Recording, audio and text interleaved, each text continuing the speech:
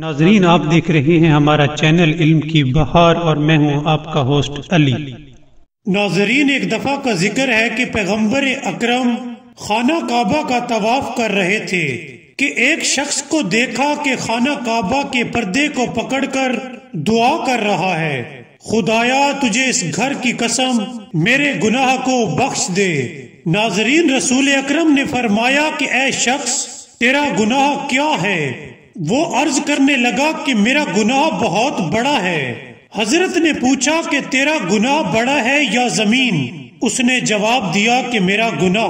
پھر پوچھا کہ تمہارا گناہ بڑا ہے یا پہاڑ؟ اس نے جواب دیا کہ میرا گناہ۔ حضرت نے پوچھا کہ تمہارا گناہ بڑا ہے یا یہ دنیا؟ اس نے کہا، میرا گناہ۔ حضرت نے پوچھا کہ تیرا گناہ بڑا ہے یا سات آسمان؟ اس نے عرض کی کہ میرا گناہ، آپ نے فرمایا کہ تیرا گناہ بڑا ہے یا اللہ کا آسمان؟ اس نے جواب دیا، میرا گناہ۔ آپ نے پوچھا کہ تیرا گناہ بڑا ہے یا خدا؟ اس نے کہا کہ خدا سب سے بڑا ہے۔ رسول نے پوچھا کہ آخر تیرا گناہ ہے کیا؟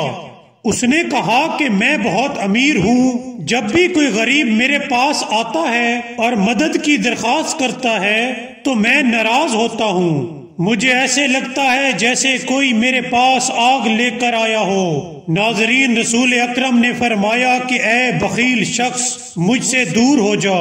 کہیں تو اپنی آگ سے ہمیں جلا نہ ڈالے۔ ناظرین، تب رسول اکرم نے فرمایا کہ اگر تم دو ہزار سال نماز پڑھتے رہو اور اس قدر گریا کرو کہ تیرے آنسوؤں سے درختوں کو پانی دیا جائے اور تو بخل اور کنجوسی کی حالت میں مر جائے، تو خدا وند عالم تجھے منہ کے بل جہنم میں ڈال دے گا۔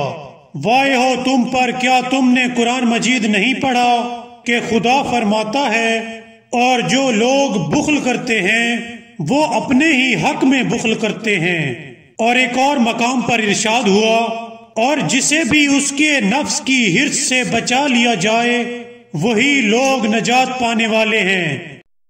ناظرین، اگر آپ کو ہماری ویڈیو پسند آئی ہو تو سبسکرائب کرنا مت بھولیے گا۔ Thank you